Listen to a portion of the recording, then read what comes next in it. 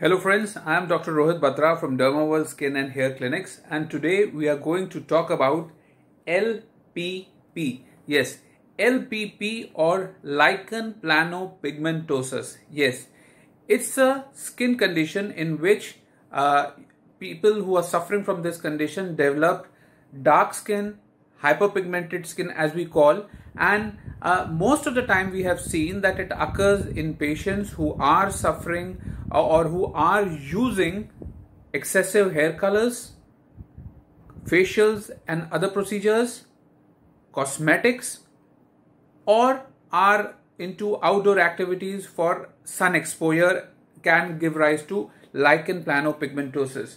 In this, people developed uh, grayish to black discoloration. It is different from tan that we normally get if you go out in sun and the pigmentation is more pronounced on the forehead sides and at times on the neck also. So when such patients come to us, they are devastated because they had tried many uh, OTC products, many facials, many cleansings, and at times people have undergone many peels also, and they are fed up that okay, doctor, I've tried everything and nothing is working. Well, you have to understand that if you are suffering from lichen planopigmentosus, as the uh, things that I have said earlier, the causative factors behind that need to be stopped. So if you are suffering from lichen planopigmentosus, your dermatologist asks you no hair color because it contains PPD and other pigments that can call, cause LPP. No sun exposure as with any hyperpigmented uh, skin disorder. Sun avoidance is a big yes.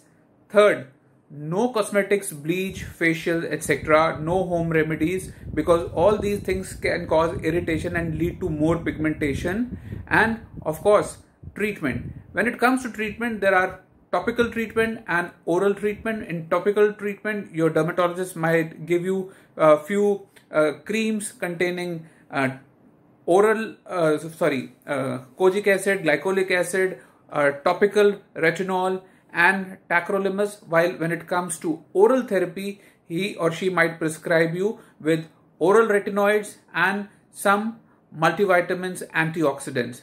So if you are suffering from lichen planopigmentosus, it is not an easy thing to get away with.